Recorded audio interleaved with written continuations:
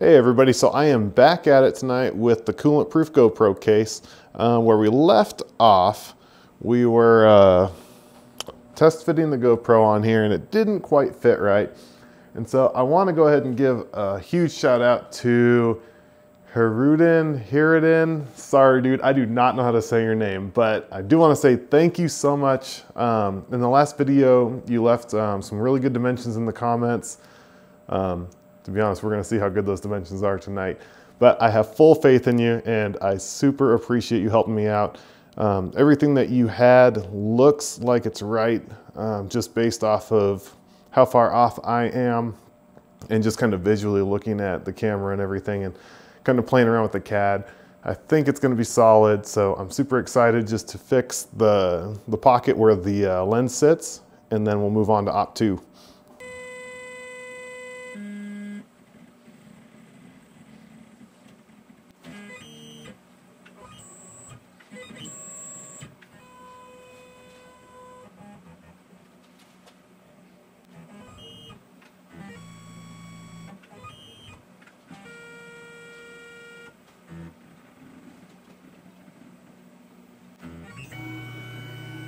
All right, she's ready to rock out. I've got my half inch end mill in. I've got my uh, piece mounted right here.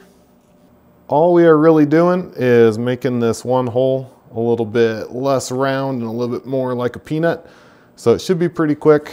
And I've got my cam loaded right there. Looking at this now, um, no reason that I need to helix all that in. The material's already gone. But this is a 10 minute op, I think. And it's gonna take me 10 minutes to go inside, fix it, get distracted on YouTube, that sort of thing, and then come back out. So I am just gonna run it while it's ready to go and suck up the 10 minutes, no big deal.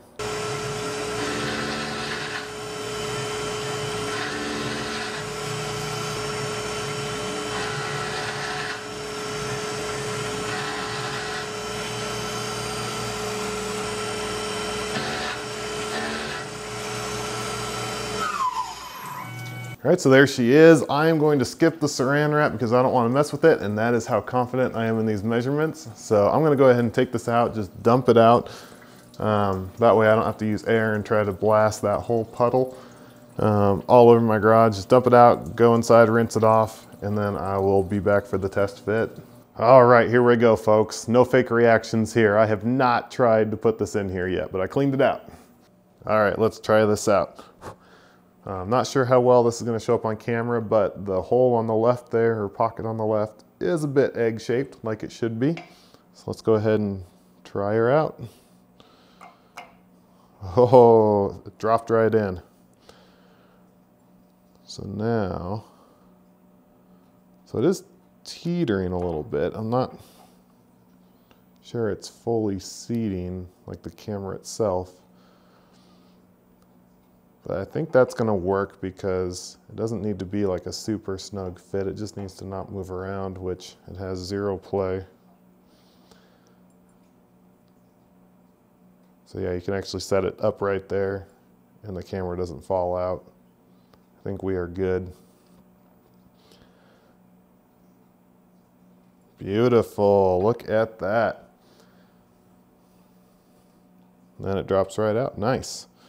And then if you put it in this way, I was kind of playing around with it this direction to see how well I had measured and got, well, I didn't really measure, but um, how well the, the GrabCAD model was for the outline of the camera. And you can see, um, I really like that there's a gap right here. Like this thing, even when I'm holding it facing down right now, like it doesn't want to fall down. So this thing sits suspended basically just off that front little lip. So my plan is to put some type of foam or something on the back plate that's going to screw on here. And that way it won't be just hanging on the front like a cantilever. It'll have a little bit of support here, just soft cushion so that it can't go anywhere and it's, it's mounted. So there you have it. Next step, we got to do op two. Let's get all this junk off of here and, and get this plate done. That'd be awesome. All right, so we are touched off and ready to go for op two. So before I got too far into this one, I wanted to show you guys what I was doing here. Um, I needed to touch off on the bottom or on the top of the parallel, bottom of the part, So what I did is I just stuck my parallel out sideways and it was enough room to get my Haimer down without hitting the part with the Haimer because that would be bad. And then I did run into one thing I didn't think about was I was gonna touch off on this side of the part here. And then I thought, oh, it's no big deal. I'll just touch off on the, the side of the vise uh, on the jaw there. And so I, I lined everything up. I just set a parallel here, set this up here, touched it, uh, and then tightened the vise. And I thought everything would be fine.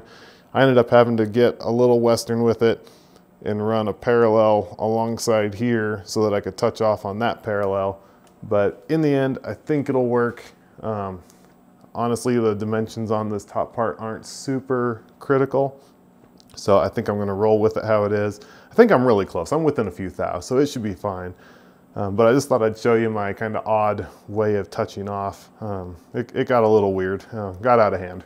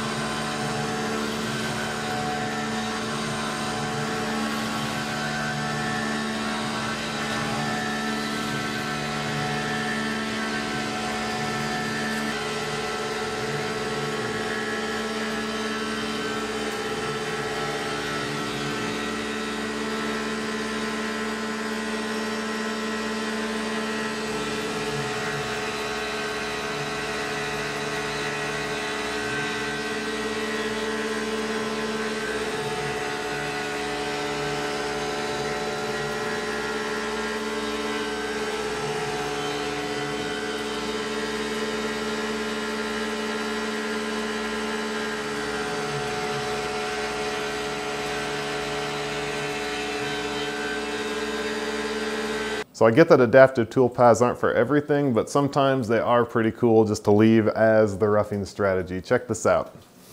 There you have it after decking off all of that, that extra material. I think it's pretty cool so far. Now we got to chamfer it and drill a couple of the holes for that little plate that's going to go over the top right here.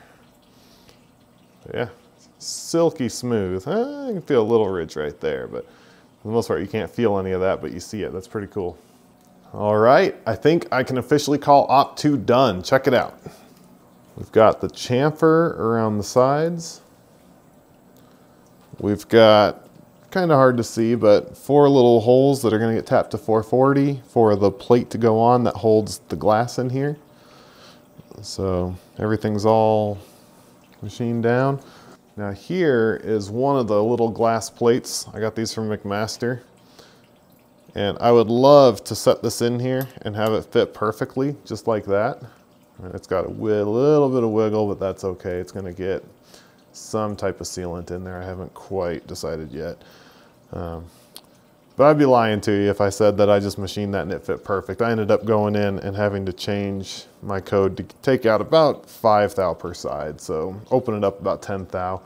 Um, my part was about six thou under, just going off of um, cutter comp in the Fusion, not on the machine. And then this part was like two thou over from McMaster. So I took off a little bit extra um, so that I could just slip it in there and it would be nice and easy. Oh no, my camera's dying. Let's get this thing off the machine.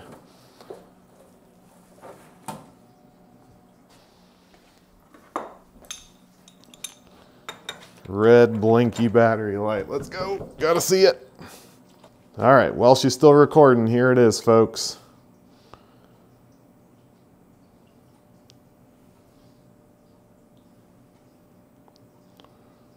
So I am super happy with this. So from here, check it out next time. Uh, I will be making the next part for this, either the front plate or the back. Haven't quite decided yet. But until then, I will see you next time.